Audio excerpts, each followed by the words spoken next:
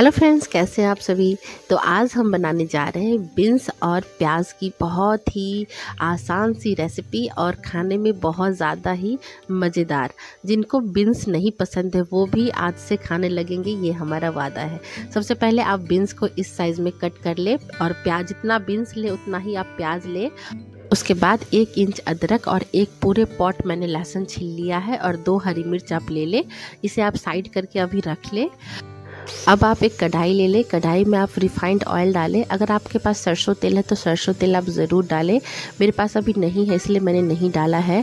Refined oil मैंने थोड़ा सा ही लिया है। उसके बाद रिफाइंड ऑयल जब गर्म हो जाए, पूरे हीट गर्म करें। उसके बाद उसमें आप ज़ीरा डाल दें। एक तेज़पत्ता मैंने यूज़ किया है इसमें।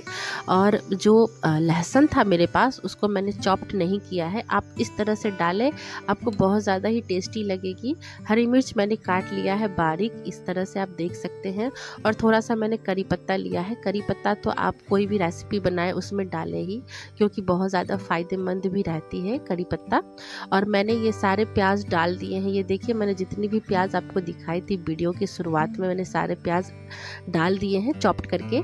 अब आप कोशिश करें कि प्याज आप इसी साइज़ में काटें। तो जब तक प्याज हमारे गल रहे हैं, तब तक आप सभी को मैं अपना होम गार्डनिंग दिखाती हूँ। ये देखिए ये मैंने मार्केट से लाया है। बहुत ही खूबसूरत सा पौधा है फूल का। और ये वीडियो मेरी अपलोड हो चुकी है। आप अगर चाहे इंटरेस्टेड है तो आप देख सकते हैं। रूही मॉम चैनल पे अपलोड हो चुकी है। और थोड़ा सा देखिए, प्याज गलने के बाद मैंने इसमें बीन्स को ऐड कर दिया है। ये देखिए। और इसे आप लगातार चलाते रहें। कभी कभी आप ढक ढक के भी पकाए, क्योंकि बीन्स का पकना भी ज़रूरी है। ये देखिए। बीच बीच में मैं इसे ढक भी दे रही हूँ। इसे मैंने थोड़ा सा जूम करके दिखाने की कोशिश किया है। ये देखिए, मेरा बीन्स और प्याज बिल्कुल भी चिपके नहीं है क्योंकि मैं इसे मीडियम फ्लेम पे पूरा प्रोसेस कर रही हूँ। आप कोई भी रेसिपी बनाए तो आप मीडियम फ्लेम ही रखें।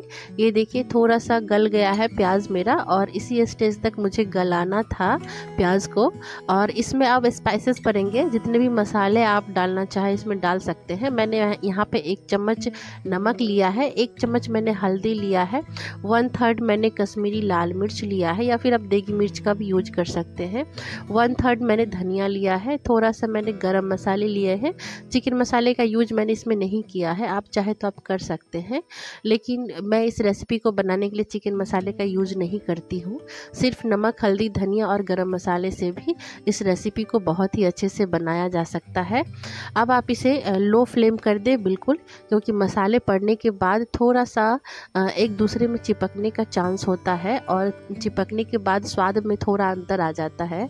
तो आप कोशिश करें कि इस ये चिपके नहीं कोई भी रह अब आप इसे चपाती के साथ भी खा सकते हैं पूरी के साथ भी खा सकते हैं या फिर चावल के साथ अगर खाना चाहे तो चावल के साथ भी खा सकते हैं। क्योंकि ये प्याज की जो भुनाई हुई है ना बहुत ही अच्छे से हुई है। अब आप अपने घर पे बनाइए फैमिली के साथ खाइए इंजॉय कीजिए। रूही मॉम फैमिली आपके लिए हर दिन एक नया नया रे, रेसिपी लेके आएगी। तो अगर वीडियो पसंद आए तो लाइक शेयर सब्सक्राइब ज़रूर कीजिए। तो बस आज के लिए इतना ही। मिलते हैं नेक्स्ट वीडियो में नेक्स्ट रेसिपी के साथ।